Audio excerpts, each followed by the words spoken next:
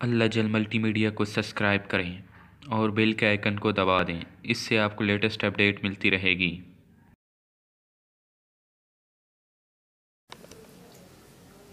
بسم اللہ الرحمن الرحیم۔ اللہم صلی اللہ محمد و آل محمد۔ السلام علیکم۔ سید ام فروا زیدی اللہ جل ملٹی میڈیا کی جانب سے ایک نئے موضوع سخن کے ساتھ ہمارا موضوع سخن جو آج ہے، جو میں آپ لوگوں کے سامنے پیش کرنا چاہتی ہوں، وہ اصحاب امام مہدی آخر الزمان۔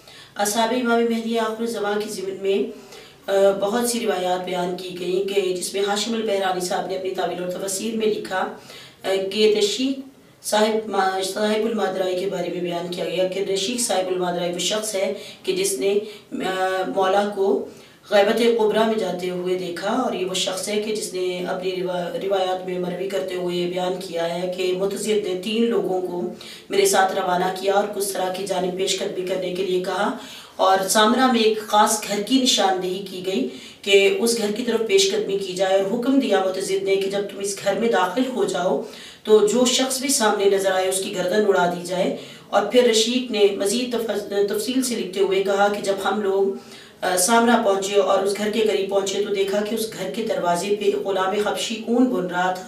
اور جب ہم نے بابت دریافت کی کہ اہل خانہ کہاں ہے تو اس نے اشارے سے بتایا کہ دروازہ اس طرف ہے، ہم دروازے سے گھوڑوں پہ سوار ہی اس سین اتحر میں داخل ہوئے اور پھر جہاں جانب جب نظر کی تو وہاں کوئی نظر نہیں آیا۔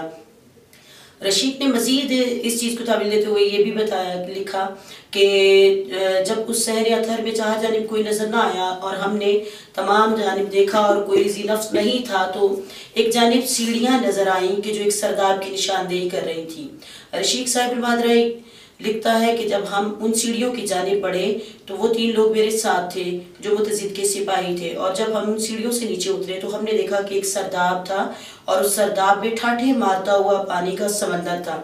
اور اس پانی کے سمندر پہ عجب منظر تھا کہ ایک مسلح بچھا ہوا تھا کہ جس میں، جس پہ ایک خوبصورت بچہ عالم سجدہ میں تھا۔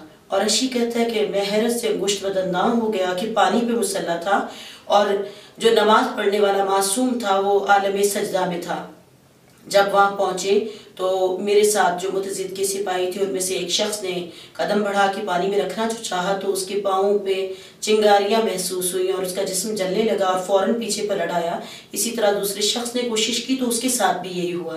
رشید نے کہا، جب میں نے یہ منزلت دیکھی تو میں نے ان حضرت کو ایک مرتبہ پکار کے کہا کہ میرے آپ پہ لاکھوں سلام ہوں۔ آخر آپ کون ہیں؟ کہ آپ اتنے بڑے صاحب معجزہ ہیں کہ پانی پہ آپ کی جانماز بچھی ہے اور آپ عالم سجدہ میں ہیں۔ انہوں نے اتمام سجدہ کرتے ہوئے اپنے رخ انور کو میری جانب موڑا اور پھر رشید نے روایت کی کہ جب انہوں نے اپنے رخ انور کو میری جانب موڑا تو میں حیرت زدہ ہو گیا کہ ان کے چہرہ انور سے اتنی خوبصورت سیاہ نکل رہی تھی کہ جس نے میری دل کے ایمان میں اضافہ فرما دیا، میری آنکھوں کو خیرہ کر دیا اور میرے جسم میں خون کی سرائیت تیز ہونے لگی اور میں نے محسوس کیا کہ خون نہ ہو، وہ کوئی عام شخص نہیں ہے۔